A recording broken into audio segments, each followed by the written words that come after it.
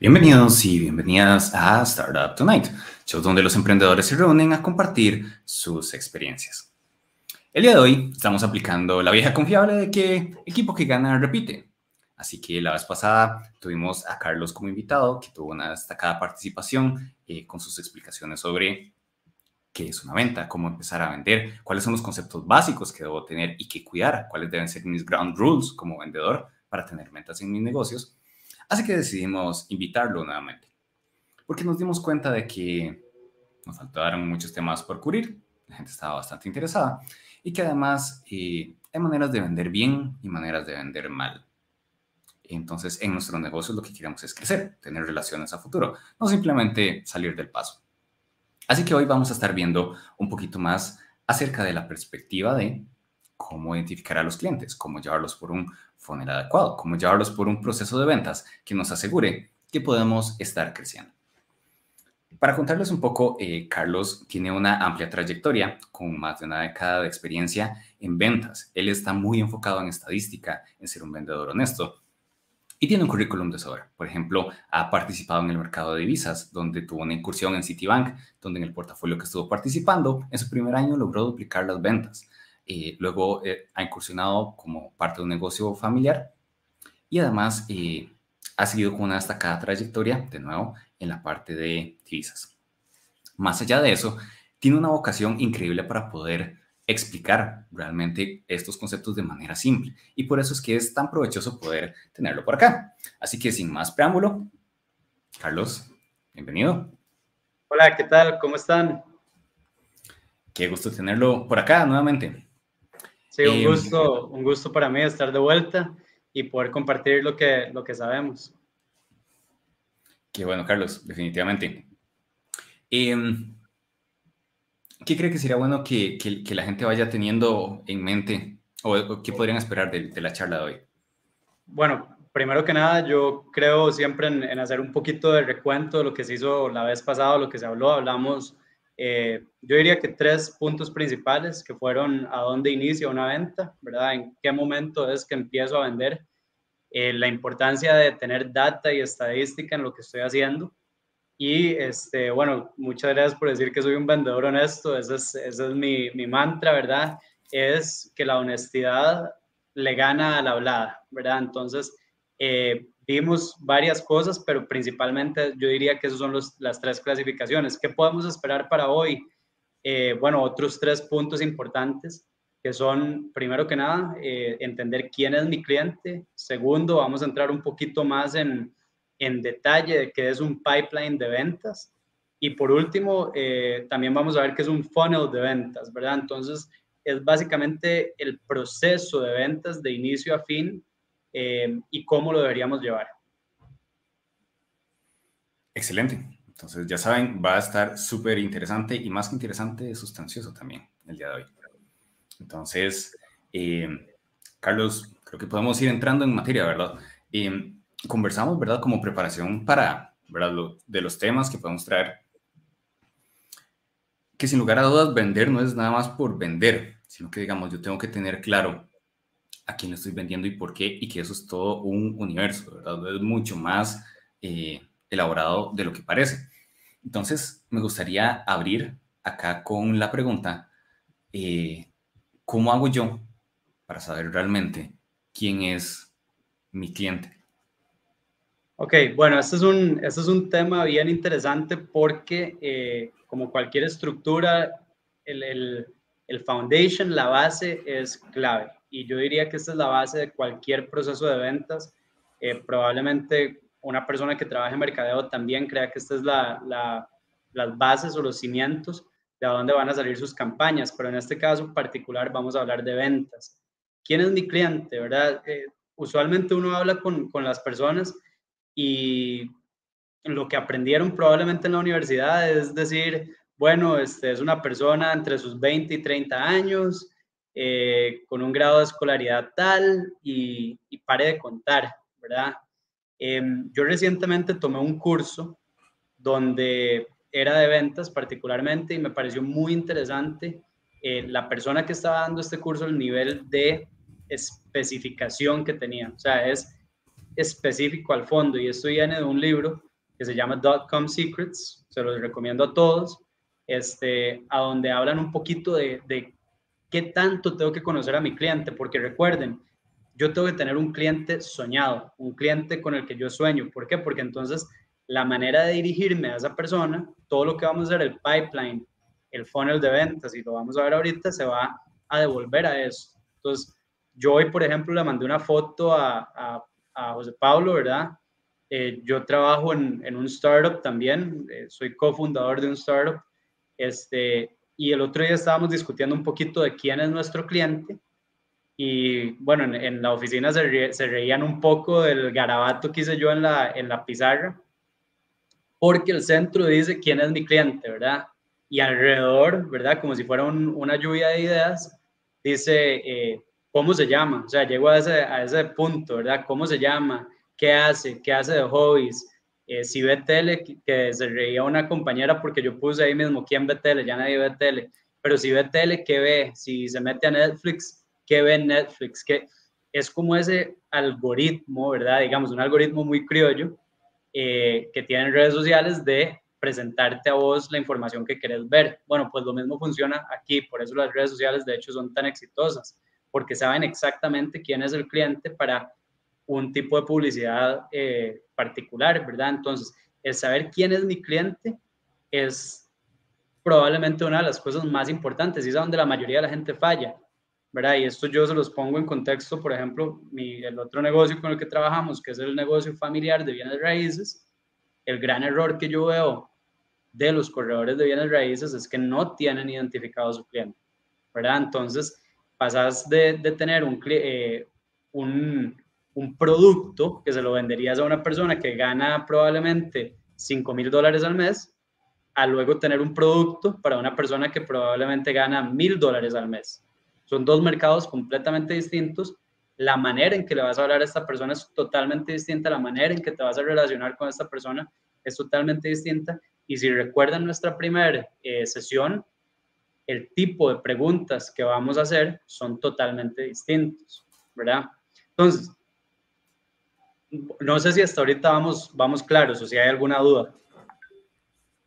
En, en general, tal vez ahí no, no, no tanto una duda, pero sí le veo mucho el, el sentido a lo que menciona, ¿verdad? Porque entiendo que estos criterios deberían efectivamente ser una especie de filtro, ¿verdad? No es como que yo le pueda vender a cualquier persona. Y de hecho, yo, a veces la gente hace el chiste, ¿verdad? En, en social media, ¿verdad? Que si yo me enfoco, por ejemplo, solo en características demográficas, eh, cualquier señor que tenga X edad, que viva en tal país, podría ser mi cliente. Y no es la idea, más bien es alguien con quien yo pueda efectivamente establecer una relación y darle valor. Exactamente, o sea, tenemos que, vamos a ver, hay, hay algo muy importante cuando estamos haciendo un proceso de ventas. Eh, el ser humano, por, por, por, naturaleza humana, siempre quiere ser el, el, el, vencedor, ¿verdad? El que gana. Entonces, cuando yo entro, en el anterior habíamos conversado un poquito la diferencia entre una venta y una negociación, pero siempre que entro a una situación donde yo tengo que conseguir algo y alguien más me tiene que dar lo opuesto, yo estoy buscando sacar partida de eso, ¿verdad? Siempre voy a tratar de ganar yo.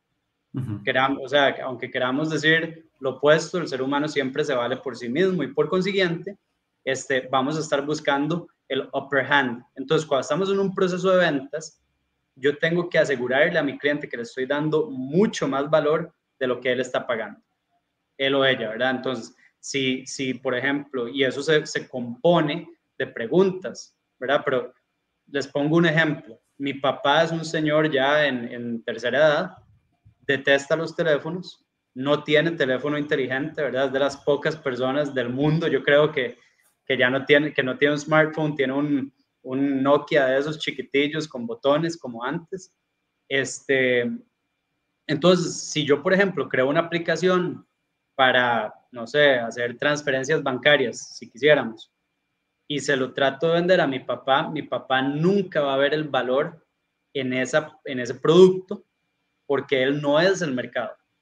Él no es la persona que va a ver valor ahí. Entonces, cuando yo trato de venderle un producto, el valor que él va a ver ahí se hace pequeñito. ¿Por qué? Porque mi papá, por ejemplo, una de las cosas que él principalmente busca es seguridad. en una transferencia bancaria. En una transferencia bancaria, la seguridad para él significa ir al banco. Aunque todos, ¿verdad? Todas las personas, quizás más jóvenes, dicen, no, es mucho más seguro hacerlo virtual, ¿verdad? Pero esto es un ejemplo que más o menos da a entender eso, ¿verdad? Entonces, ahí es bien importante entender que el cliente, quién es mi cliente, es la manera más sencilla de yo saber cómo me voy a dirigir al cliente y qué preguntas tengo que hacer a la hora de hablar con él o ella. Totalmente de acuerdo. Pequeño paréntesis ahí para ir saludando gente que se nos une a la transmisión. Tenemos a Marco, que es parte de la startup eh, Portia. Ahí Marco me corrige para ver si lo estoy diciendo bien. Pero entonces, un saludo y muchísimas gracias por unirse a la transmisión. Igual los que vayan llegando, eh, si nos dicen de cuál startup vienen y demás, también los podemos saludar con, con mucho gusto. Dentro de esos puntos que menciona también algo, ¿verdad? Porque en, mi caso mi perfil es un poco más de producto, ¿verdad? De, hacer el, el, producto per se, eh, especialmente productos digitales. Y sí recuerdo que un amigo también mencionaba la frase, eh, cuando uno sabe que alguien tiene un problema o cuando uno conoce un problema, debería también conocer cuál persona tiene un problema, específicamente para poder ir a preguntarlo, porque a veces es muy frecuente que uno quiera hacer un negocio, invierta y toda la cosa en algo que realmente era nada más como una idea mía y que nadie quería comprar. Entonces creo que también ahí está mucho del valor de poder hacer este ejercicio, que si ya yo puedo llegar a un nivel específico y como nos decía Carlos, ponerle nombre, eh, ya tengo un pie, digamos, por lo menos en, en, sé a quién ir a buscar y si me dicen que sí o que no, por lo menos sé que estoy hablando con, con un cliente, ¿verdad? O un potencial cliente. Bueno, por ahí eh, Neil Rackham, que es un, un, autor, el autor de Spin Selling, que yo les decía la, la vez pasada, sí. eh, Neil Rackham es muy, muy, muy claro en el tema de este, que los emprendedores, y no le quiero quedar mal, no le quiero quedar mal a los, a los founders aquí, pero por lo general los founders son muy malos vendedores. Y no es porque sean malos vendedores, porque intrínsecamente son más, eh, no sé, alineados con el mundo tecnológico o lo que sea. No, no, no, no tiene nada que ver con eso. Es porque el fundador, por lo general, está tan enamorado de su idea, tan, pero tan, tan enamorado de su idea, que llega a una conversación con un potencial cliente y habla demasiado sobre su idea, ¿verdad? Entonces, eh, no sé, digamos que yo tengo un, un, startup que, no sé, digamos que es Rumba hace no sé cuántos años cuando se hizo, y yo le quiero vender a alguien, y apenas yo llego, lo que hago es empiezo a, decirle cómo, cómo es la ingeniería de, de, Rumba, cómo es el software que se conecta con, con, la, con la interfaz gráfica, etcétera, etcétera, etcétera y quizás a la otra persona, no sé, eh, vive en un país donde la, la, limpieza doméstica es tan barata que no, no justifica el, el, gasto, ¿verdad? No sé, o sea, es un ejemplo, pero lo que pasa es que cuando estamos tan eager, tan, tan emocionados por compartir lo que nosotros hemos desarrollado, dejamos de lado las necesidades y los deseos del cliente.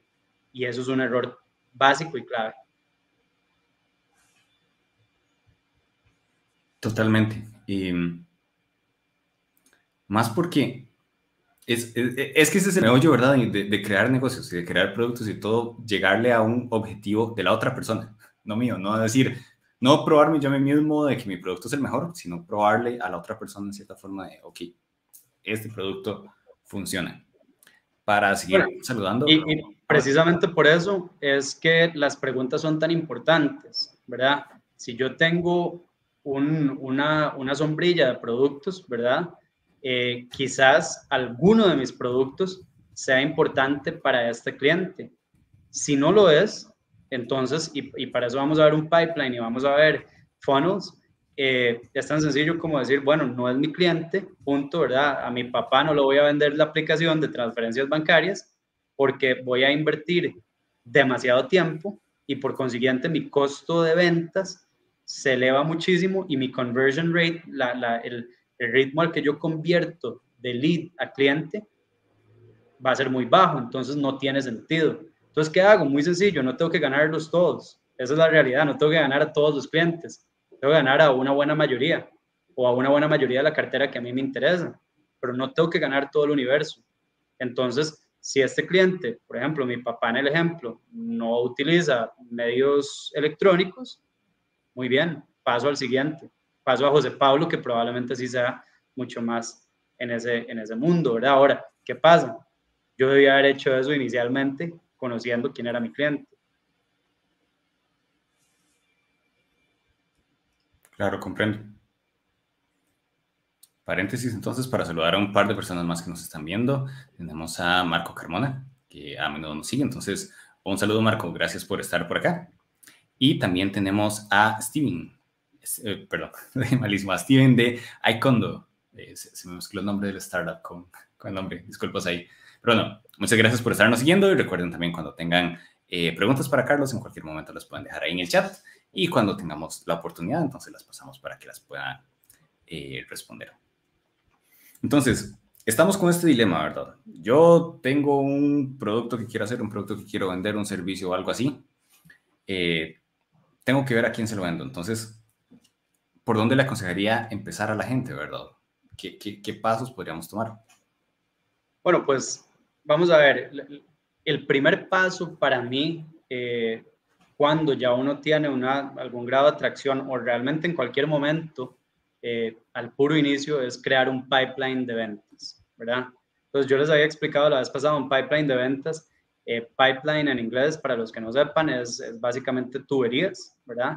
Entonces, ¿qué es un pipeline de ventas? Es una secuencia de acciones este, para prospectar a mis leads. Ahora, no sé si todos tienen claro que es un lead, pero les voy a decir que es un lead. Un lead es una persona eh, que podría o que potencialmente puede ser cliente mío. Ese es un lead, ¿verdad? Francamente no, no recuerdo el nombre en español, pero es un lead. Y entonces el pipeline me ubica a ese lead en algún punto de este, las etapas de venta que yo tengo. Ahora, muchos de ustedes preguntarán, Em, un lead, este, o sea, ¿cómo, cómo, hago, ¿cómo hago esa clasificación de los leads? Bueno, o sea, eso depende de ustedes, de lo que ustedes crean, del cliente ideal que ustedes hayan creado, ¿verdad? Una vez que ustedes tengan eso, ustedes pueden ir clasificando a sus leads de maneras distintas o no. Entonces, ¿por qué sirve o para qué es un, un, un ¿cómo se llama? Un pipeline de ventas. Bueno, porque los hace más eficientes a la hora de vender.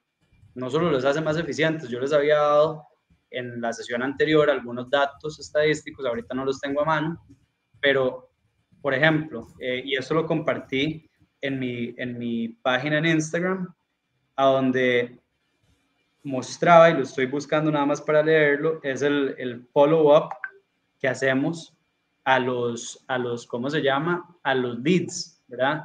¿Qué pasa? Que la mayoría de la gente busca a José Pablo Garbanzo para venderle una vez. Y si José Pablo no habló o no contestó o no dio señas de vida, no lo vuelvo a buscar. Eso es un error fundamental. ¿Verdad? Tengo que llamarlo varias veces. ¿Por qué? Porque de 20 llamadas, de 20 cold calls, de 20 correos que yo haga, solo uno me va a decir que sí.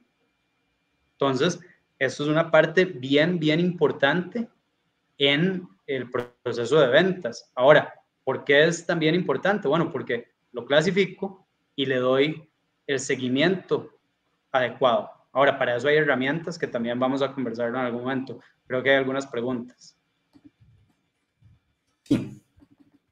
Entonces, acá, tal vez, una, cosa que me parece importante mencionar es, eh, antes de pasar a las preguntas, es que esto también nos da herramientas, ¿verdad?, para poder medirlo y demás, porque Carlos nos hace mucho énfasis en estadística y demás, y de dónde vamos a sacar la estadística si no tenemos algo estructurado, ¿verdad? Entonces, de ahí sale mucho el valor de tener específicamente eh, un proceso de, de, ventas. Nos comentaba, nos comentaba Andrés por acá, efectivamente, la traducción de eh, lead al español es prospecto. Entonces, es, potencial cliente y de hecho... Gracias, Andrés. Lo, lo mencionaba ahí en, en, el, en, el, en, el, en el la descripción. Y de paso también saludos a Andrés y al equipo de Vertigo. Vertigo. Eh, siempre, siempre me da mal porque no sé, digamos, qué tan, qué tan en español o en inglés estamos diciendo los nombres de los startups. Espero estarlo diciendo bien. Si no, siéntanse con la libertad de, de, de, de, corregirme. Pero bueno, un saludo Andrés y muchas gracias por unirse a la transmisión. Em, tenemos una pregunta acá de Marco que dice, en el ámbito de ventas se ha empezado a considerar el uso de inteligencia artificial o estadísticas para tomar decisiones para hacer una venta? Por supuesto, em, totalmente, Marco. Vamos a ver, eh, inteligencia artificial sí se utiliza en, en muchísimos, muchísimos ámbitos. Ventas no es uno que, que, perdón, me río porque veo que, que Andrés dijo que en español lo dijiste bien.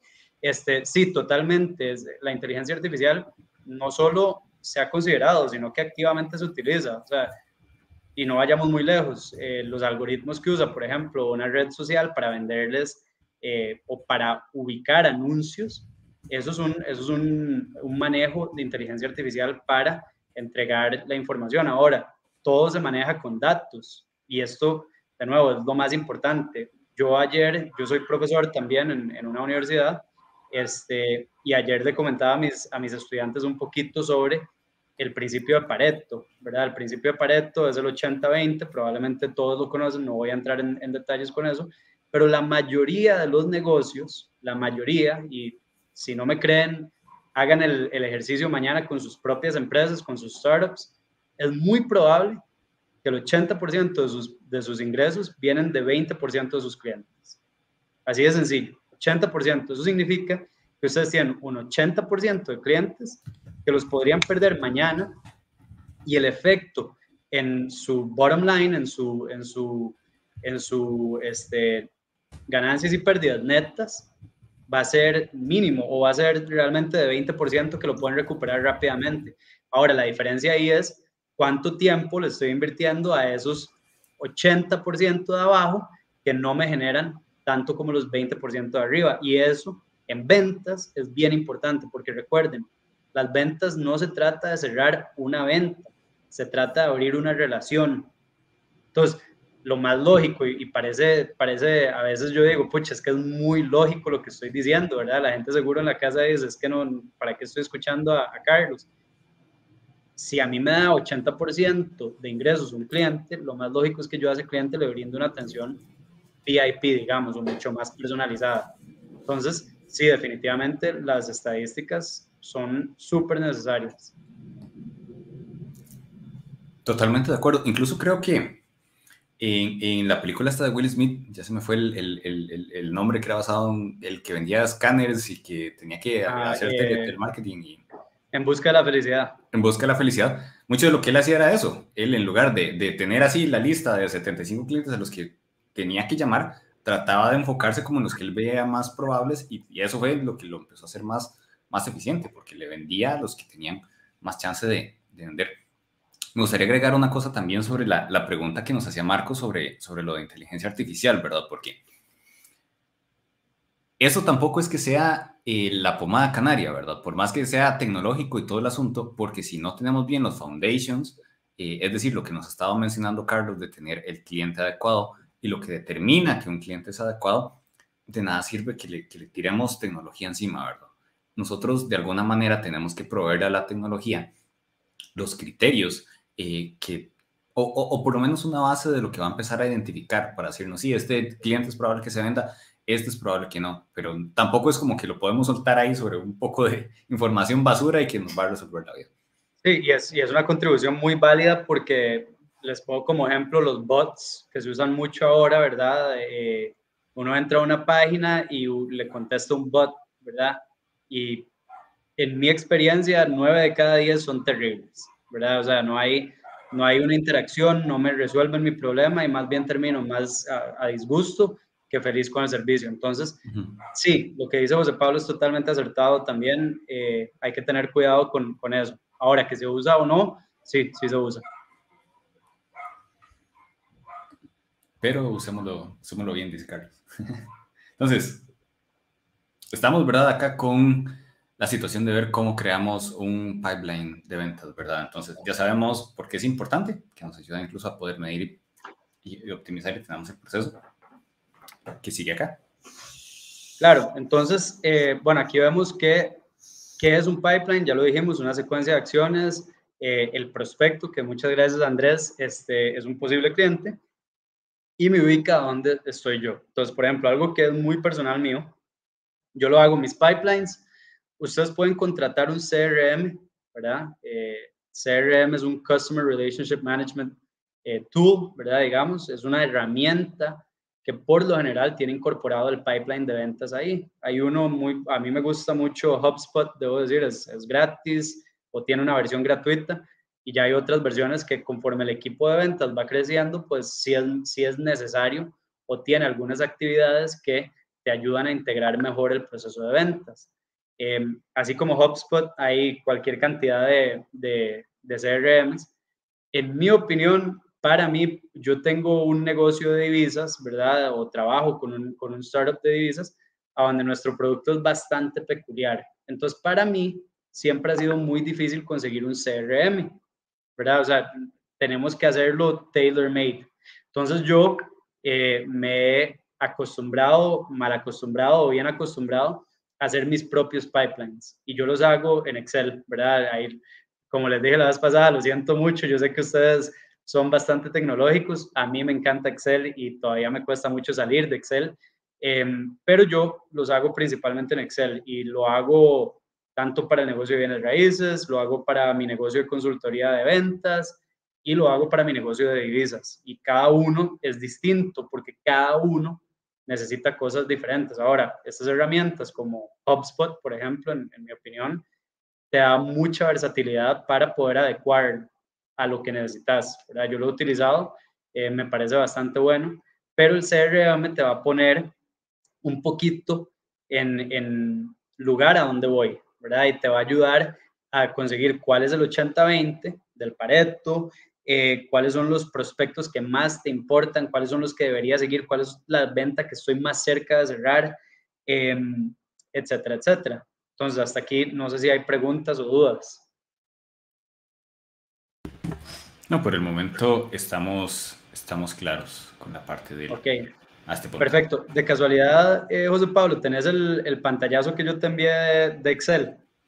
Justo se, justo se estaba buscando, pero creo que tengo un problemita. Voy, voy a quitar la, la, pantalla un segundo para poder... Bueno, eh, si quieren, les voy contando un poco y ya cuando los veamos en, en pantalla, este, lo, veré, lo entenderemos. Pero bueno, les voy a contar un poquito también de las cosas que hay que hacer con el CRM, porque tampoco es la pomada canaria, ¿verdad? No es que yo ahora pongo un CRM y mañana empiezo a vender como si no hay un mañana. El CRM es una herramienta a la que hay que darle tiempo, ¿verdad? Entonces, ustedes con sus equipos lo que tienen que hacer es setear tiempo semanalmente y decir, ok, bueno, esta semana vamos a revisar el CRM, vamos a ver cómo vamos, vamos a ver el porcentaje de crecimiento, el porcentaje de crecimiento, vamos a ver una cosa muy, muy común, ¿verdad? ¿Cuál es el ticket promedio? Entonces, si yo le vendo a un cliente X, si yo tengo un producto que vale, no sé, digamos que 10 mil dólares el trimestre, ¿verdad? Ese es el ticket promedio, 10 mil dólares. O cuando le vendo los 10 mil dólares, le vendo algo adicional y entonces infla ese ticket. Puede que sí, puede que no. Puede que mi ticket promedio sea mucho más bajo. Puede que un mismo cliente me compre tres, cuatro eh, productos a la vez, tres, cuatro veces mi servicio, no lo sé, ¿verdad? Entonces, cuando esa demanda empieza a crecer o bajar, es bien importante saberlo.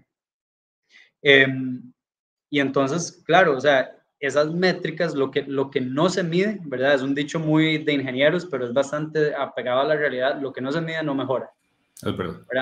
Entonces, este es, un, este es un ejemplo de un pipeline que, que hice yo ahí cambié los nombres, por eso ven como XXX por todo lado, pero es la tercera iteración del pipeline de ventas que yo hice para el negocio familiar de bienes raíces, ¿verdad? Entonces, ¿qué hago yo? Bueno, ahorita estamos en un proceso donde yo estoy recabando información, ¿verdad? Y eso es muy importante, recabar información. ¿Cuál es el tipo de cliente al que vamos nosotros? ¿Cuál es el tipo de cliente que nosotros buscamos? ¿verdad? Buscamos vender más o buscamos alquilar más. Eso, eso, todo eso influye, porque, por ejemplo, en un negocio como el de bienes raíces, alquilar es mucho más sencillo que vender, conlleva mucho menos trabajo, pero alquilar me da un retorno mucho más bajo, ¿verdad? Mientras que vender me da un retorno mucho más alto. Entonces, si ven la primera columna, dice eh, estatus, ahí me disculpan, yo ando en un puro spanglish siempre, ¿verdad? Entonces, estatus y yo lo que hago, como yo los clasifico usualmente, es en un semáforo. ¿Por qué? Porque se me hace muy fácil de relacionarlo con todo lo que yo hago. Eh, verde significa es nada más de tocarla y meter el gol, ¿verdad? Amarillo es, todavía estamos construyendo la jugada, pero parece que tiene, que tiene fuerza. Y rojo es, no le veo mucho futuro, ¿verdad? La bola está allá atrás en la defensa, ni siquiera me preocupo. Entonces, ¿qué pasa? Que cuando yo tengo un cliente, por ejemplo aquí, dice, eh, vean que la segunda columna dice el tipo de negocio, ¿verdad? Entonces yo voy a buscar si alquilo o si vendo en este caso. En el caso de ustedes, en un startup puede ser, bueno, puede ser un servicio o puede ser una venta de un producto. No sé, no sé si tienen ese, esa, esa sombrilla de productos. Luego dice, ¿cuál es el producto? ¿Verdad? ¿Qué es lo que estoy vendiendo? Entonces, en este caso yo lo clasifico como casa 1, casa 2. En la realidad yo no lo pongo casa 1, casa 2, sino que le pongo algún distintivo a la casa o al apartamento que estamos vendiendo o alquilando, ¿verdad? Eso, usualmente yo, como soy una persona muy numérica, le pongo una secuencia, em, pero también le pongo una descripción que me recuerde a mí y que también recuerde a mi, a, mis, a mi mamá principalmente, que es la vendedora número uno del negocio. Este, para ella es más sencillo recordarlo con una descripción. Entonces, esa es otra cosa que yo hago tailor-made. Detalle, ¿por qué? Porque en el momento en que un cliente me llame para hablar de eso, yo necesito tener los detalles aquí. Y en un tiempo como en el que estamos hoy por hoy, la venta se define no solo en la importancia o la calidad de la información que doy, lo accurate que sea mi, mi información, sino también lo rápido que la doy. ¿verdad? Entonces yo, yo tengo que saber qué son las preguntas que le importan al cliente.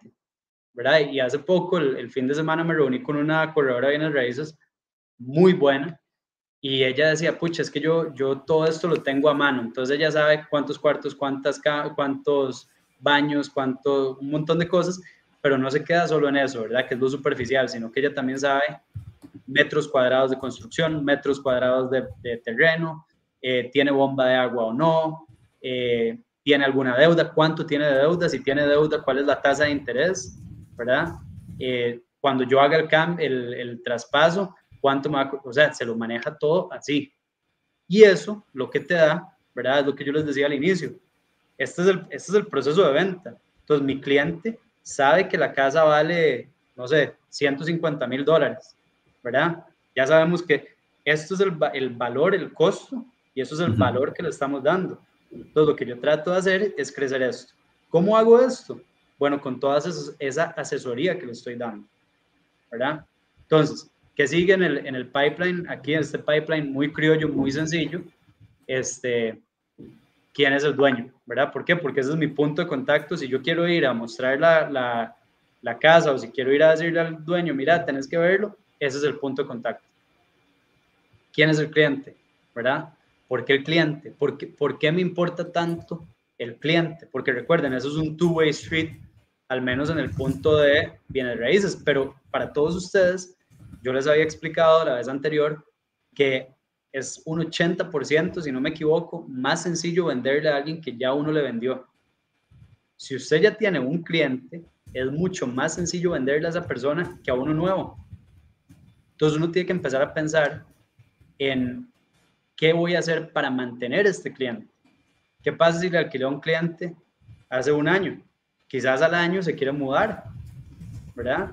Entonces yo voy y lo busco a esa misma persona. ¿Cómo lo hago? Bueno, hay un montón de maneras. Eh, una manera que usan en Estados Unidos que a mí me parece bien, bien interesante y es algo que probablemente vayamos a implementar nosotros. Y a mí realmente no me, no me molesta compartir esta información porque si alguien lo quisiera copiar, no lo va a hacer igual de bien que yo. Y no lo digo por jugar de vivo, lo digo porque es mi idea, ¿verdad? Y entonces esto también es algo que yo siempre comparto con los con los emprendedores, la concepción que uno tiene en la cabeza y el tiempo que le dedica, si alguien se lo copia, simplemente no va a tener el mismo efecto. Pero un newsletter, ¿verdad? A donde usted manda todos los meses eh, o todas las semanas cuáles son los listings nuevos o viejos. Bueno, lo mismo sucede en todo esto y de hecho en el libro .com Secrets, que es una trilogía y se los recomiendo a todos los que quieren vender y principalmente quieren vender en línea, hablan sobre dos tipos de correos que ellos envían y el autor le dice a uno el Seinfeld eh, email, que es haciendo alusión a la, a la, ¿cómo se llama? La serie de Jerry Seinfeld, Seinfeld, para los más viejos seguro la han visto, es buenísimo. Este, a donde el 90% es basura, o sea, es entretenimiento, y el 10% es contenido. Y hay otro que se llama el soap opera, que es básicamente la novela, a donde lo que hacen es que usan el, el cliffhanger al final, el, quedarse en la orilla de saber qué va a pasar, ¿verdad? Entonces contás una historia, pero no das, no revelas el final. Y eso es una cosa que eh, Russell Brunson, si no me equivoco que se llama, este, usa muchísimo en todos sus funnels de ventas, en todos sus, en todos sus quick funnels. Y aquí lo que él hace es tenerte siempre al tanto de la información de lo que está pasando. Eso es algo que fallamos muchísimo. ¿Por qué? Porque cerramos una venta y abrimos una relación. Y la mayoría de la gente se olvida de esa segunda parte, ¿verdad? ¿Qué sigue en el, en el pipeline? Bueno, en este en particular sigue el nominal. ¿Cuánto vale el producto que estoy vendiendo? ¿Verdad? ¿Por qué aquí dice split? Bueno, porque en el negocio de bienes raíces es muy normal que haya que compartir la comisión, ¿verdad? Entonces, ¿qué pasa? Que si el split es 50%, o sea, que yo le tengo que dar la mitad a otro corredor de bienes raíces, mi PNL es 500 cuando el valor original era 1000, ¿verdad? En otros casos será, no sé, un 50%, etcétera. Entonces, ahí, por ejemplo, en el Excel está formulado que si el tipo de negocio es alquiler o venta, varía el tipo de porcentaje que se le asigna sobre ese porcentaje de split, ¿verdad? Y luego también dice el corredor adicional, ¿verdad? Porque el corredor adicional al final de cuentas es un aliado y yo tengo que apuntar ahí si ese corredor con el que trabajé fue una, buen, una buena alianza o una mala alianza. Si fue una buena alianza, y como dijo José Pablo, equipo que gana repite, ¿verdad? Lo utilizo para el siguiente. Si fue una mala alianza, no lo vuelvo a contactar y listo. ¿verdad? Entonces, aquí es muy importante. Si yo hago un zoom out de esto y veo que solo tengo dos o tres en verde, yo, Carlos Valerín, les digo a ustedes, enfóquense en sus fortalezas, vayan por los verdes, cierren a los verdes y después se pueden encargar de los amarillos. Pero primero cierren lo que ya tienen ahí en la mesa. Y los rojos, los rojos significa que si ese cliente me llama a mí, genial, lo paso a amarillo o a verde, pero yo ya no voy a salir de mi, de mi, de, mi, de mi, de mi camino, ya no voy a salir de donde voy caminando para ir a buscar a este cliente. ¿Por qué? Porque me representa demasiado trabajo y el costo de oportunidad es demasiado alto. ¿Sí, sí me explico?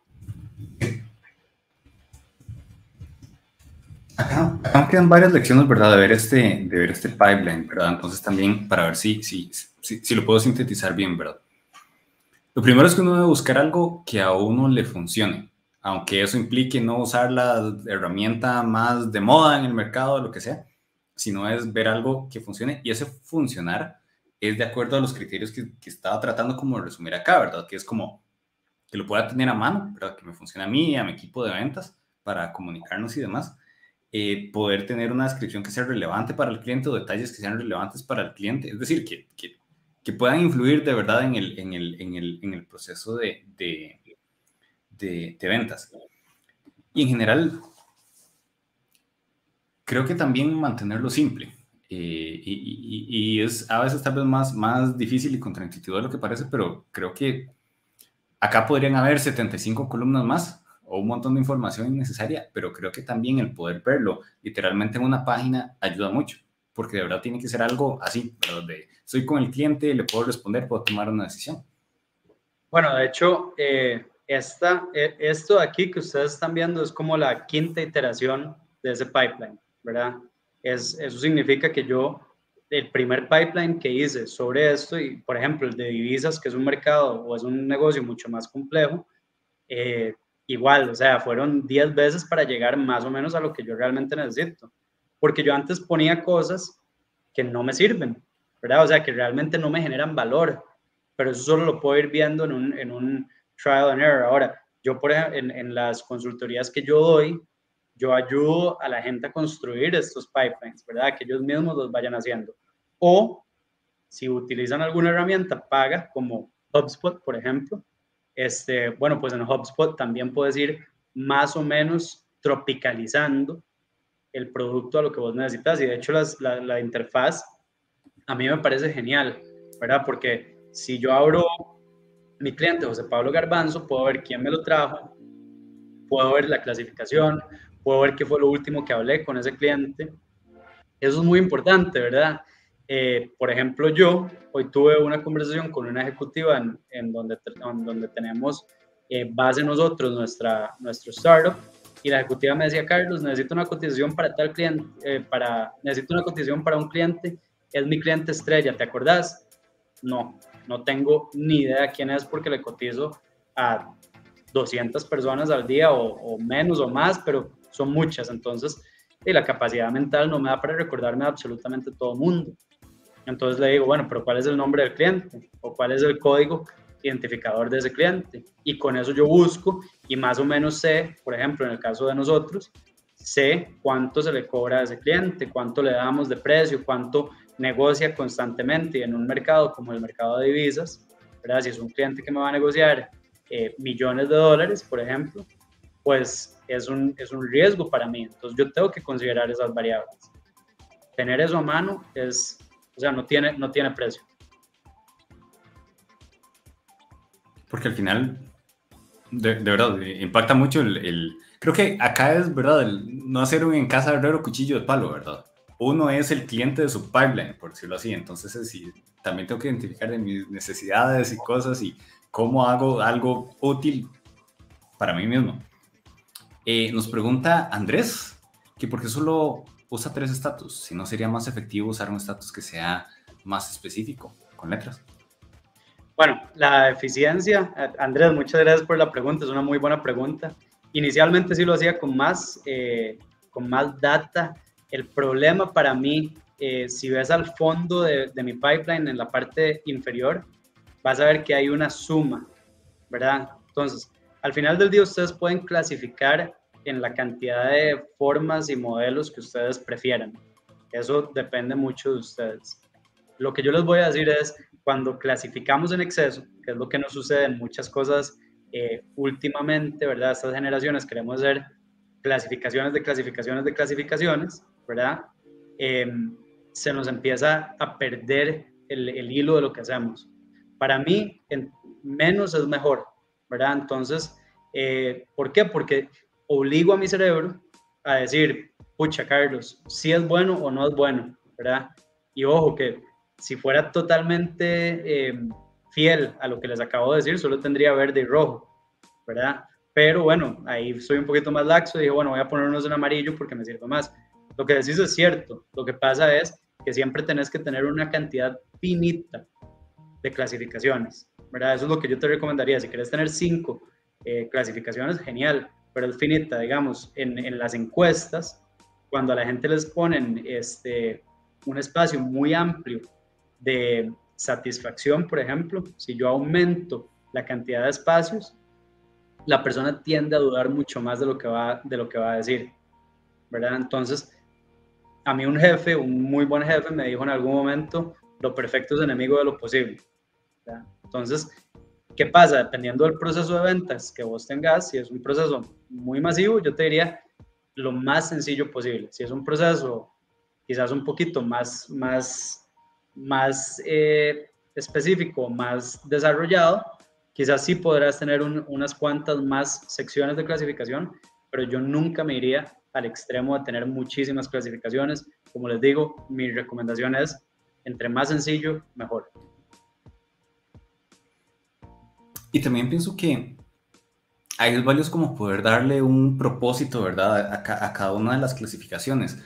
No en el sentido de que se sienta como lo más correcto al momento de ponerlo, sino que se sienta con lo que más pueda optimizar los objetivos del pipeline, digamos. Porque aquí yo lo puedo ver muy claro.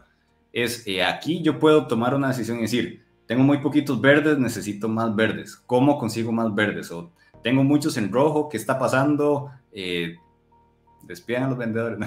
No, tengo muchos en rojo, ¿qué está pasando, verdad? Entonces, creo que el, tener estos datos más dispersos hasta complicaría eso, ¿verdad? Porque si tengo, si tengo 200 clasificaciones y todas darían ahí 3000. Entonces no puedo decir nada con eso. Y, y, es totalmente correcto. O sea, les, les doy un, un ejemplo práctico. Eh, cuando yo trabajaba en el banco, teníamos una herramienta digital que en mi opinión era quizás un poquito adelantada a su tiempo para que la gente pudiera este, hacer transacciones eh, online. En ese momento, eso fue hace 10 años aproximadamente y todavía el, el tener, el tener estos, estos procesos bancarios digitales todavía no era tan, este, tan mainstream como lo es hoy. Y lo que pasó cuando teníamos que hacer eso, le teníamos que dar una lógica a los desarrolladores para que nos crearan lo que nosotros queríamos. Y al inicio teníamos, eh, entonces decíamos, no, es que a este cliente le cobramos 0.05 y al otro le cobramos 0.10 y al otro le damos 0.15 y la mejor y al otro le cobramos 2 o 3 y ahí entra mucho el pareto, ¿verdad? Entonces, por ejemplo, mi jefe en aquel entonces me dijo, madre Carlos, después de dos colones, ¿cuál es la dispersión que tenés de 2 a 5 colones de cobro? Casi nada. O sea, casi todos caían en la misma. Entonces él me dijo, ok, entonces metes una, un bucket, eh, una cesta de clientes en dos colones y los siguientes van a cuatro colones. Y yo decía, pero es que voy a perder aquellos clientes que negocian probablemente a, a dos, perdón, voy a perder dinero en los que negocian probablemente a tres. Y él me decía, no importa, porque lo que estamos haciendo es generando más volumen. Y eso es importante saberlo, ¿verdad? ¿Qué tanto de mi negocio es masivo y qué tanto no? Y por eso les decía, esas clasificaciones pueden variar. Y al final, pues, es contraintuitivo, digamos, ¿verdad? Porque todo esto, incluso de, decir que un cliente no es ideal, es básicamente decirle que no a alguien. Y a veces no incluso a gente que querría comprar, me explico. Es porque pasa, es como yo no soy, yo no soy nada tecnológico, pero, pero, pero, pero, pero bueno, yo le digo ahí a mi sobrino y, y que lo use y tal cosa, y después está uno dándole cuatro horas al día de soporte al, al, sobrino del otro que no le interesa el producto y que lo tienen ahí.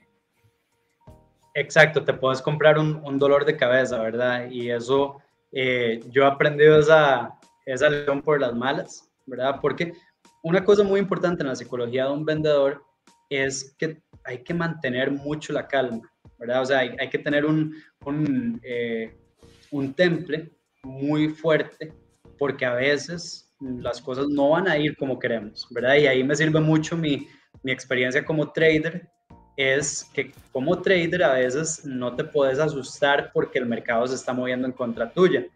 Lo mismo sucede en ventas.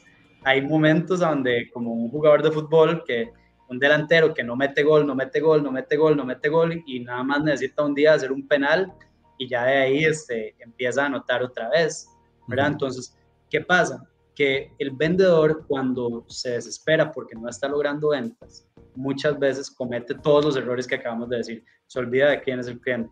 Y eso me ha pasado a mí, se olvida de quién es el cliente, em, el cliente personal o ese, ese cliente estrella que yo quiero, ese cliente soñado, y entonces le empiezo a vender al que sea. Y entonces, ¿qué pasa?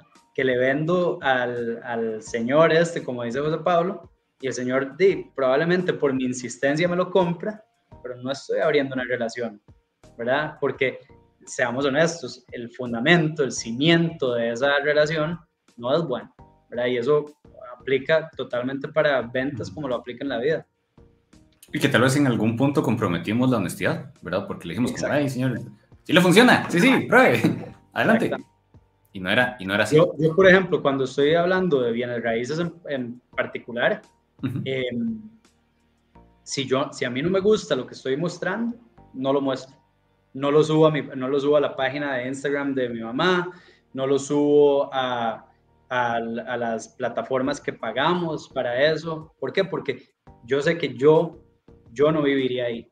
A mí no me gusta. Entonces, como a mí no me gusta, mejor eh, no pierdo el tiempo en eso. ¿Por qué? Porque mi mantra es ser honesto y si soy honesto, yo le digo, bueno, ahora puede ser que vaya y vea un lugar que no me encanta, pero que está a muy buen precio y que puede ser ideal para uno de mis clientes. En ese caso, yo sí le puedo decir al cliente, sin faltar a la honestidad, le digo, bueno, mira, es una gran oportunidad para vos.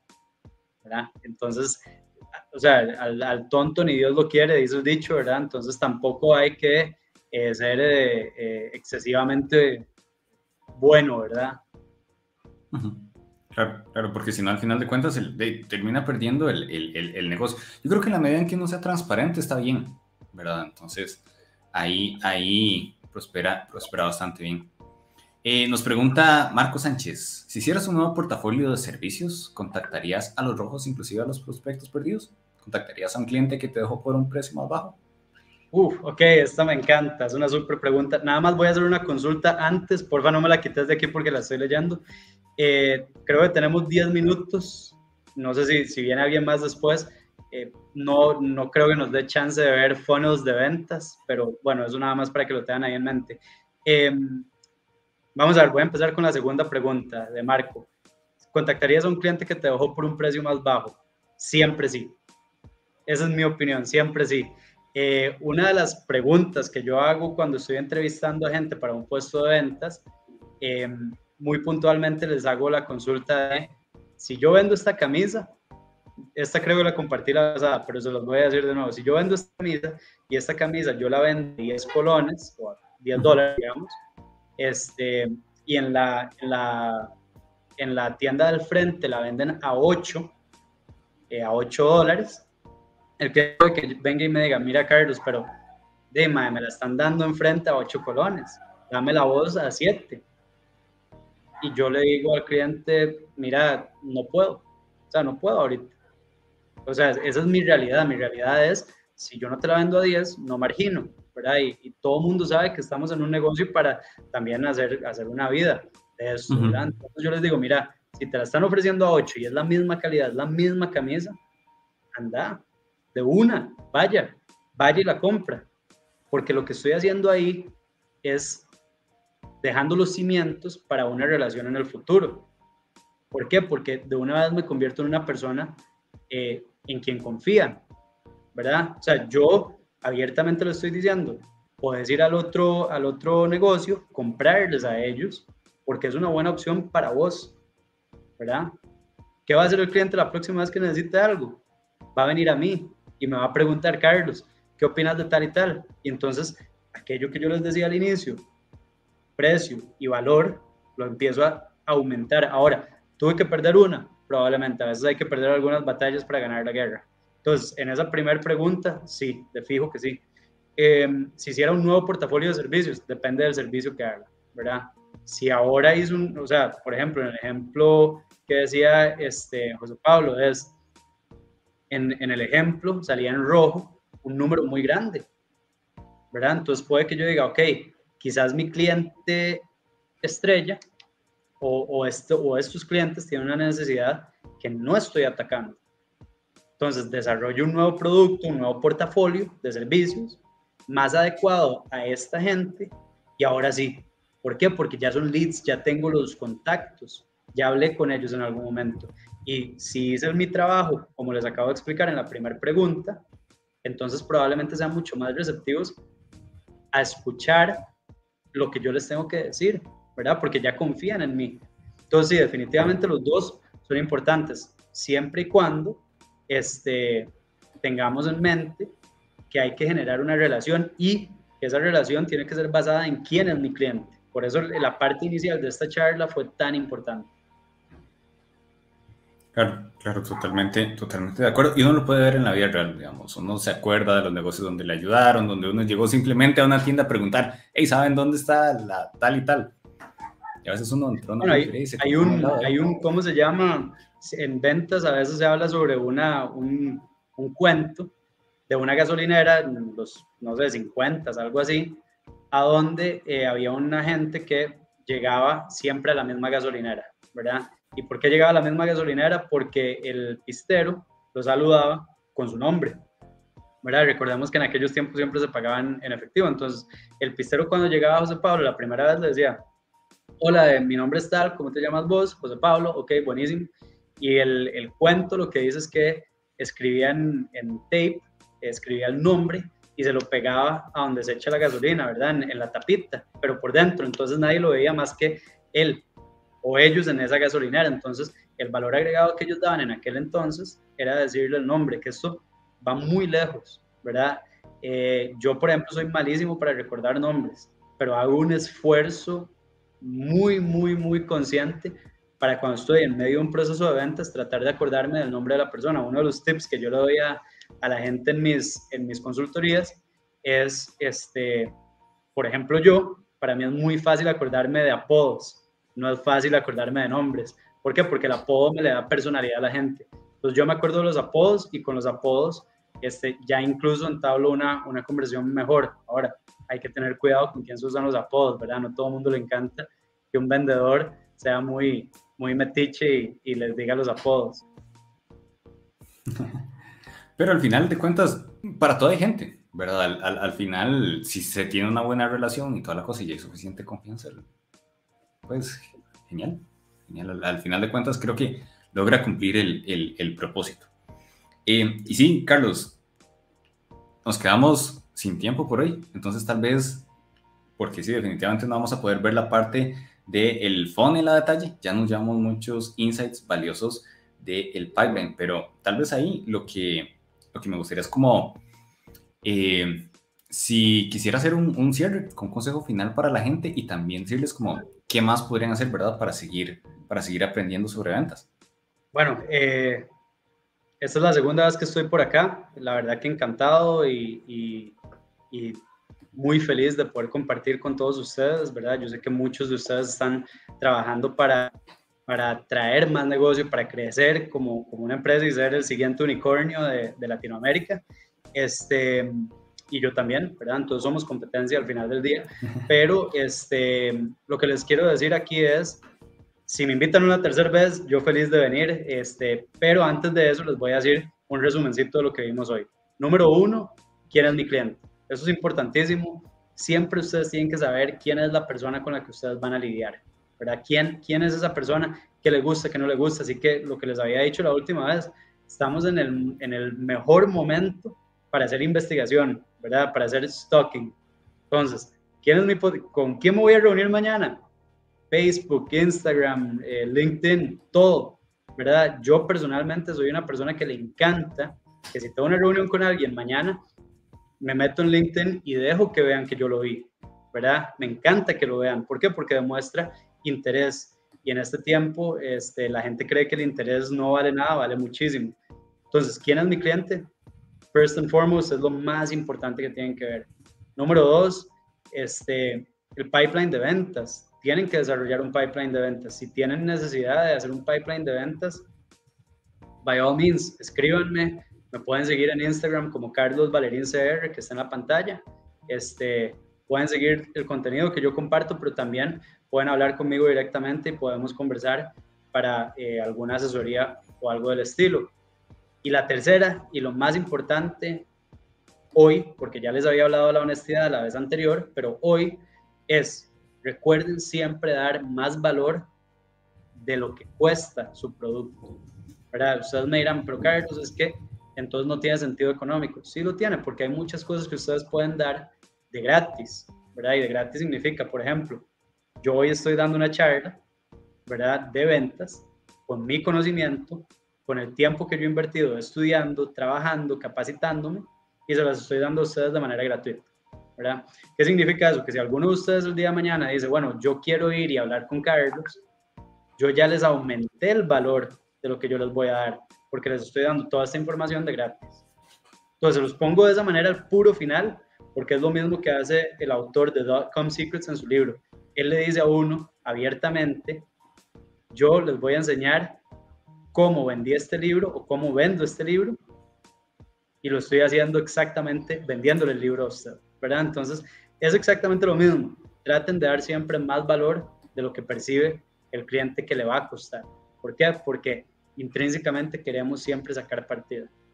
Habiendo dicho eso, un gusto haber estado con ustedes hoy. La verdad que disfruto mucho de eso. A mí me encanta hablar en público. Soy muy bombeta, ¿verdad? Eh, no crean que eso es una característica de un vendedor. Un vendedor no tiene que ser extrovertido. Yo de hecho me considero introvertido para aquellos que, que, no, que saben. Este, entonces, nada, encantado de estar aquí. Espero que les haya servido, espero que haya sido de, mucha, de mucho provecho para ustedes y ojalá que los vea vendiendo como locos y haciendo pipelines y nos quedamos para ver funnels en una, en una siguiente ocasión.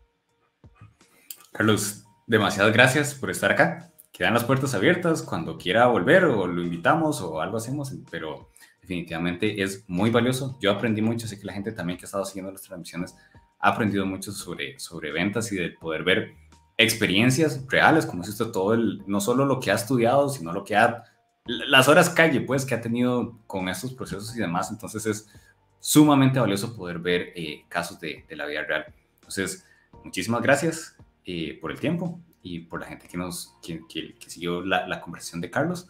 Eh, bueno, la, la, presentación y, y, y demás, todo lo que nos compartió.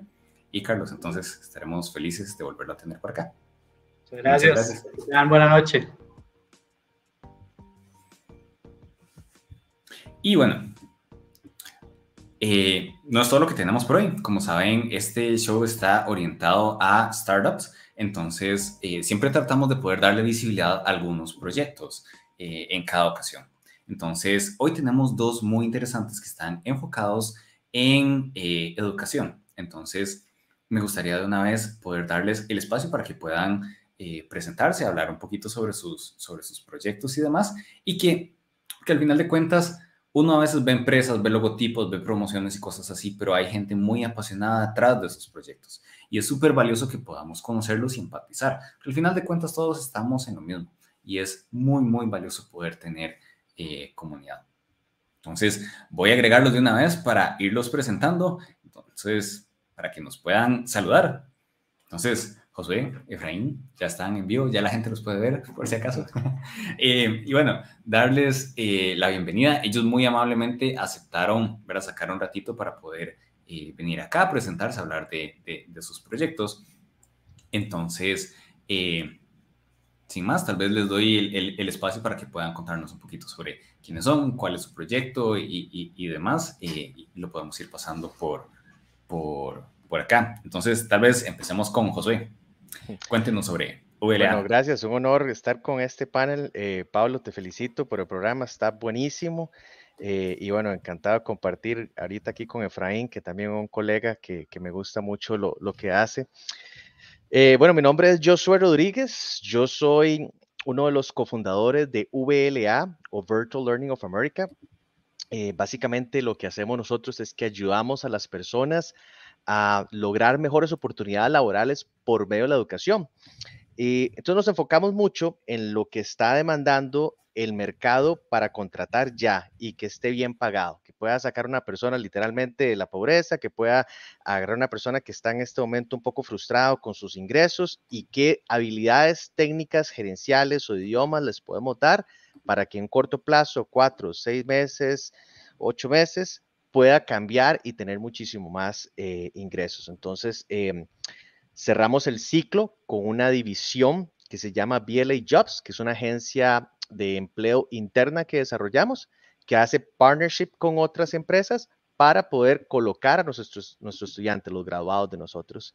Y bueno, orgullosamente hemos logrado grabar a más de 13 mil personas. Tenemos más de 1.800 estudiantes activos en este momento y hemos podido expandernos. Estamos en, bueno, en Miami, en Costa Rica, Panamá, Colombia, España como principales sedes, pero tenemos colaboradores de toda Latinoamérica y estudiantes de toda Latinoamérica. Eh, ya, gracias a Dios, con 14 años de trayectoria por acá. De verdad me, me, emociona mucho poder tenerlos por acá invitados porque, no sé, no sé si les pasa, a veces uno está acostumbrado de que cuando ve eh, estas partes de, de, cursos, tal vez uno se, se, le viene algún ejemplo a la mente o piensa en una empresa gringa o piensa en una universidad. Y la verdad para mí fue muy grato cuando me empecé a involucrar más en las comunidades el poder ver estos ejemplos tan cercanos realmente, ¿verdad? El, el poder ver cómo esta, toda esta oferta tan amplia, digamos, realmente de, la plataforma y demás, porque si uno se pone a explorar ahí un montón de cosas ahí, y, no es por hacerle la promoción, porque de verdad me llena de, de, orgullo y de envidia en el buen sentido del poder ver todo lo que han podido eh, desarrollar y crecer. Ah, muchas gracias. No, eh, eh, pero realmente creo que las cosas con pasión eventualmente tienden a, a tener éxito. Creo que principalmente es eso, o sea, que, eh, en esta vida creo que la disciplina como número uno y la segunda, la, pasión por lo que uno hace, pues ayuda mucho a, lograr tener éxito. y en el caso de nosotros, la pasión por, por poder ayudar a otras personas que no nacieron en cuna de oro y que tal vez no tuvieron el acceso a ir al lujo a la universidad, porque es un lujo, ¿verdad? Inclusive universidades públicas, aunque estés becado, no todo el mundo tiene el lujo de no trabajar, aunque te bequen 100%. Y ya el mundo ha cambiado mucho y nos enfocamos en, certificaciones que te paguen bien eh, y por ende las empresas transnacionales y el mundo ahorita como cambió tanto, se dio cuenta que lo que usted necesita es gente especializada en ciertas habilidades y eso es lo que nos enfocamos a hacer, ¿verdad? Ayudarles en Cisco, Linux, Amazon Web Services, Project Management, Scrum, e idiomas como portugués e inglés, por supuesto, ¿verdad? Con esas habilidades vamos a tener trabajos bien pagados, remotos ahora, trabajos lindísimos, eh, y pues nos llena mucho poder ver personas y familias crecer y, y cambiar sus vidas. ¿Qué tal si nos cuenta un poco más sobre cuáles son los, los, los retos que tienen ahorita actualmente en, en ULA? ¿En, qué andan? Bueno, como, como startup principalmente, eh, ya tenemos un modelo de negocio que sabemos que funciona y nos encontramos en una etapa de crecimiento. O sea, al tener una base activa de 1.800 estudiantes que están en este momento todos estudiando semana a semana, aquí es cómo crecemos, cómo nos convertimos en 6.000 estudiantes activos, en 10.000 estudiantes activos. Y ese es el reto, empezar a, crear ese product market fit en otras latitudes. Eh, estamos explorando, por ejemplo, Colombia, que mm, Costa Rica tiene una gran ventaja. Aquí eh, somos un país caro y te paga bien. Por ende, eh, puedes venderle al público Em, digamos, con, una accesibilidad de, un buen producto. Cuando vamos a otras latitudes, em, la diferencia, digamos, a nivel de acceso, obviamente la clase media tiene menos poder adquisitivo, tal vez en otras latitudes que como tiene en Costa Rica. Entonces, ahí tenemos que definir una estrategia de precios un poco diferentes, tenés que venderle en su moneda local y tenés que hablarle en idioma. Tenemos una gran ventaja que hicimos lo que le llamo yo un disaster recovery de, a nivel de empleados y tenemos 16 empleados en Colombia, tenemos empleados en Nicaragua, tenemos empleados por todo lado, en Panamá, Argentina. Entonces, ya ahí al tener tanta base de empleados y también de estudiantes, pues nos ha servido que, que a la hora de expandirnos, por ejemplo, hacia Colombia, sea más sencillo porque tenemos un insight, ¿verdad? Pero esa es la fase. El reto de nosotros en este momento es cómo crecer, cómo hacer que nos conozcan más personas eh, en Costa Rica, que es el principal mercado donde estamos. Y estamos pues haciendo estrategias un poco agresivas, eh, que espero que las vean pronto, eh, para que podamos posicionar la marca, porque ya el producto sabemos que funciona, ahora ocupamos que más gente nos conozca para que podamos seguir creciendo. Podemos, podemos hacerle un, spoiler de la gente o, les decimos nada más que. Por supuesto, ¿no? Claro, este, hágale y le cuento detalle. Yo andaba ya con la producción y todo lo que estábamos haciendo. pues, que, lo, hago, hago, el spoiler yo o te lo, lo contás vos? Adelante, mejor, para, para, para no robar el, spotlight. Bueno, para nosotros es un gran honor eh, y un reto enorme. Eh, estamos pautando en los partidos de la selección de Costa Rica en la eliminatoria, en una pauta que está dentro de lo que sería el partido, no los anuncios, y pudimos hacer una alianza con los ajenos para sacar un jingle con ellos. Eh, hoy, genial, ya tenemos la canción, está excelente. Eh, ojalá que no se pierdan los partidos y la vean y si nos pueden apoyar, ¿verdad? Ahí van a encontrar a ULA Latam, como estamos en todas nuestras redes sociales y que nos apoyen y que pues, pues ocupamos eso, ese, ese apoyo tico de hacia otros ticos que están emprendiendo y tratando de, de, de salir adelante, ¿verdad? Entonces sí, estamos a sacar un jingle con los ajenos y hasta baile y todo tenemos. Esperemos que pegue. Esperemos que sí y que... Y de hecho eso, eso me parece muy valioso, ¿verdad? A veces a, a la gente que, que, emprende le cuesta mucho tener tracción con sus coterráneos inclusive. Eh, ojalá esta, esta pueda ser la excepción y que de verdad sea, sea definitivamente un, un peli. Le voy a preguntar una anécdota graciosa, le doy un momentito para que la piense y mientras tanto vamos con Efraín para que se introduzca y cerramos luego con la anécdota de Efraín para que también la, la, vaya, la vaya pensando. Entonces, Efraín, bienvenido. Voy la anécdota, pero bueno, muchísimas gracias por, por el espacio, gracias a, Pablo por, por la invitación, ¿verdad? Hoy que, que se están viendo ejemplos de, de, empresas costarricenses en temas de e-learning. Y un saludo a, a Josué, por supuesto. Eh, felicitarlo por todo lo que viene logrando recientemente, por todo también lo que, lo que viene haciendo para lograr que ULA cambie, transforme Costa Rica, primeramente, de hecho. Y bueno, para presentarme rápidamente, amigos, este, bueno, yo tengo 10 años de experiencia trabajando en temas de, de transformación digital, ¿verdad? He trabajado para ONGs como profesor, para empresas pequeñas o de la Bolsa de Nueva York, en fin. Eh, y también siempre me ha encantado la parte educativa. Y verán que, que, todo esto en los caminos de la vida me llevó a, a que mi tesis universitaria se terminara convirtiendo en, en una startup que busca ayudar a las personas de la región a, a, salir adelante. Saben, viendo un poco lo que conversaban, yo soy un poco más del lado académico, de hecho, el que mencionan. Sin embargo, he descubierto que el mundo de los startups y el académico, más que competencia, podemos ser aliados y complementos. Además de con otros sectores, ¿verdad? Porque lo cierto es que al final todos enfrentamos los mismos problemas como sociedad, como familias. Y bueno, en una región iberoamericana tan golpeada por tantos flagelos, eh, nosotros apostamos por el potencial de que nuestros países se incorporen con fuerza en la cuarta revolución industrial. Es un sueño que, que tengo, que he impulsado, que he defendido y en algún momento eso me llevó a emprender en la parte educativa, ¿verdad? Y eso ha venido evolucionando, generando nuevas alianzas. Y por eso ahora traemos My Interview, el cual se compone de varios subproyectos, ¿verdad? Tiene varias ramas, igual en, en, varios eh, sectores que se debe trabajar.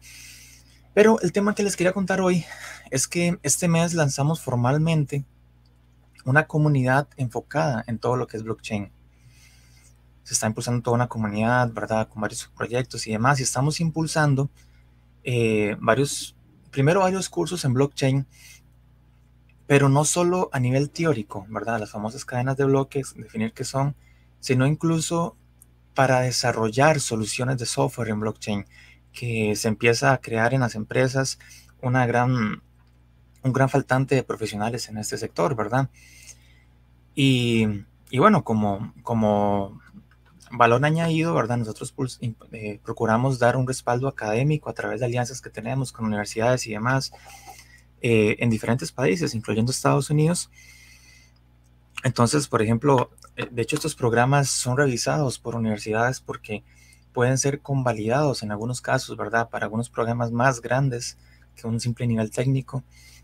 Y quería contarles algo interesante, y es que eh, como, como el punto es impulsar eh, con fuerza el tema de blockchain, por ejemplo, los certificados que tenemos, amigos, este, no solo te va a aparecer la copia en PDF o el certificado impreso, sino que el certificado está en una blockchain. Así que dentro de 10 años nosotros desaparecemos, por ejemplo, o se pierde el título la persona, bueno, no importa, porque dentro de 20, 30 años, si esa persona ocupa demostrar que estudió eso en el 2022, en una cadena, de, en un blockchain, va a quedar eh, con miles de copias, ¿verdad? autenticado que esa persona estudió eso con tales materias y demás en el 2022. Esa tecnología ya la desarrollamos, la venimos trabajando desde hace meses y, y ya hicimos todo el proceso. Estamos en detallitos finales, en pruebas. Además de otros aspectos que incluyen, ¿verdad? Eh, es, una educación muy enfocada en la, en la parte dual eh, también tratamos de impulsar a los estudiantes a de incentivar que ellos desarrollen sus propios startups. Entonces también hay convenios con, con incubadoras y demás. Este, en fin, hay una serie de barreras de, entrada y de beneficios que venimos impulsando para los estudiantes, no solo de los programas de blockchain, sino en otras áreas, ¿verdad? Como los de project management, como los de este, marketing digital y subherramientas, eh, los de inteligencia artificial, en fin, todo lo que venimos trabajando. Entonces, no, básicamente eso es un poco lo que quería comentarles hoy de lo que estamos impulsando con fuerza en este mes. Súper, muchísimas gracias por hacernos la introducción y definitivamente es muy valioso poder tener acceso a educación, ojalá de verdad, de gente que tenemos así tan cerca, para poder aprender de cosas que están a veces trending, porque si hay algo que tiene blockchain, cryptocurrencies y demás, es todo mundo, todo mundo lo ha escuchado, ay, lo entiendo. Todo el mundo, ha, sí, el fulanito, todo el mundo conoce a alguien que está en cripto, pero es como, ¿qué es eso? ¿Cómo se come? Y, y, demás. Voy a compartirles acá un momentito el, el sitio, vamos a ver. el sitio de, eh, de, que nos comentaba Efraín para que puedan verlo. Entonces pueden entrar a inter.university y de acá pueden eh, acceder ¿verdad? a todo lo que nos mencionaba. Ese eh, personaje, por cierto, es una inteligencia artificial que estamos programando, que va a ser un asistente virtual que va a acompañar a los estudiantes en todo el proceso. Ya está en, ya está el, el se me olvidó el término, perdón, el MVP, ¿verdad? Y ahí vamos a ir poniendo. Súper. Y acá, bueno, lo que nos comentaba, ¿verdad, Efraín? Un poquito acerca de los cursos que hay. Entonces, tenemos parte de transformación digital, eh, de blockchain y demás. Definitivamente también un orgullo poder saber que hay más empresas igual manteniéndose a la vanguardia, dando eh, opciones para que la gente se pueda capacitar en este tipo de cosas que ya sabemos que, de nuevo, eh, moda o no moda, no lo vamos a debatir hoy, pero definitivamente es algo que está en demanda, es algo que le puede dar trabajo, son habilidades que en el momento son valiosas para la gente. Y más allá de eso, el poder empoderar a las personas para darles un sentido práctico es lo que hace que las modas dejen de ser modas y se conviertan en cosas que se quedan con nosotros. Muchísimas gracias por compartir los proyectos y entonces cerramos con las anécdotas. Entonces, yo soy. ¿Cuál es la suya? Bueno, yo creo que una de las cosas más vacilonas que me ha pasado a mí, eh, yo claramente en ULA también soy profesor y me gusta dar clases. Eh, he vivido como en fincas. Entonces, una vez literalmente estaba dando clases y una culebra me empezó a pasar por los pies y se me subió y todo en media clase, ¿verdad? Entonces era como que eh, suave, este, es que hay una culebra aquí, y los estudiantes como que, como que una culebra, y, y, la ven y todo, entonces interactuó y tenía que atrapar, o sea, no, tenía que atrapar la culebra, ¿verdad? Pero no la podía dejar ahí como rondando por la casa, ¿verdad? Entonces eso fue como lo que más vacilón creo que me ha pasado así de, de, de cuando estaba dando clases, que en medio de la nada, algo súper random, me salió una culebra subiéndose los pies y yo viendo a ver si era venenosa o no y cómo. Cosas que me pasaron por ahí dando clases. Bueno, me, imagino que vacilón ahorita. Ah, sí, momento, sí, tremendo. En momento seguro estaba así como Red on Black, Venom Black. sí, sí, claro. Ay, qué, qué, duro, pero hey, cosas que pasan estando ahí en vivo. Cosas que pasan en vivo, eso, o sea, como son clases en vivo, puede pasar cualquier cosa, ¿verdad? Sí, fijo, todos ahí muertos de risa diciendo que dicha que no soy yo. eh, Efraín, cuéntenos una anécdota que quiera compartir con la gente. No sé, estaba pensando, pero esto que mencionaba Josué me recuerda todas las cosas que uno pasa a la hora de emprender, ¿verdad? A la hora de luchar por, por lograr generar un cambio en la sociedad. Y no sé, para recordar un par, así rápidas, me acuerdo una vez que andaba dando una conferencia en, en la Universidad de Empeño, por cierto, allá saludos a, a Liberia y Cañas. Eh, pero por temas de horario teníamos que venirnos soplados, literalmente. Apenas yo terminaba de hablar para intentar llegar a San José a una actividad que había con unos representantes que venían de una universidad, por cierto, en Estados Unidos. Y yo venía casi con el tiempo, o sea, no podía, si acaso podía pasar a comer. Y resulta que de camino el motor, este, casi que explotó. no, lo que explotó fue el radiador sin embargo, no me quise rendir en el momento, terminé llamando una grúa que me llevara al centro de San Ramón. No saben lo que intenté luchar por llegar, pero bueno, evidentemente no lo logré. Este, y todo, una, una, una persona familiar mía que estaba como invitada terminó pasando a recoger un documento que ellos tenían que entregarme ese día, ¿verdad? Pero bueno, este, esas historias que en el momento fueron acongojantes, ¿verdad? Pero después terminaron siendo bonitas. Una vez en la Asamblea Legislativa hicimos un evento, ¿saben? Que, di, no sé, al que se invitó un montón de personas eh, de diferentes sectores, pero nosotros pensábamos que si acaso iban a llegar unas 100 personas. Yo no sé cómo fue que se viralizó, pero el punto es que la actividad y la fila que se hizo ese día para entrar a la asamblea era gigantesca Y era un tema grave porque, por ejemplo, ese día estaba doña Laura Moscova en otra actividad en asamblea, la, la, primera dama, ¿verdad? Y estábamos haciendo la, bueno, el registro, la fila para entrar y demás. Y en eso un muchacho, nunca supe quién fue, nunca supe por qué lo hizo. Eh, bueno, en realidad no hizo nada. El punto es que él andaba un arma visible. No sé por qué. Y llegó la alguien lo reportó, llegó la policía y por poco nos cancelan todo el evento por culpa de esa persona que simplemente llegó a hacer fila, nunca supimos quién era. Al final por dicha sí se pudo hacer.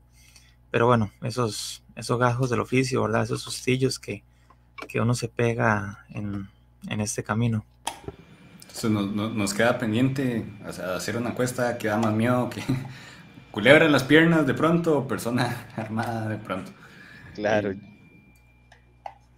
Entonces, eh, Daisy, para que vean también que todos los emprendimientos y cosas que vean tienen un lado mano detrás, un montón de historias, un montón de situaciones así más o menos interesantes. Eh, a ellos posiblemente los tengamos en una edición a futuro para que puedan extenderse un poco más, que nos puedan contar su historia, que podamos ver todos los gajes de emprender en educación, que definitivamente es una de las áreas eh, después de FinTech que ha tenido más tracción en Latinoamérica. Entonces es súper interesante el tema. Por el momento, demasiadas gracias por eh, compartirnos, hablarnos acerca de sus proyectos. Es súper chido poder ponerle cara a las iniciativas que vemos, a tal vez que los vemos interactuando en un chat o en algún foro, pero ya poder verlos, conversar un poquito, de verdad que es súper valioso. Eh, muchas gracias a la gente que siguió la transmisión o a los que lo vayan a ver a futuro, que solamente son, son la mayoría. Y nos vemos en una próxima edición. Buenas noches. Muchas gracias. Buenas noches.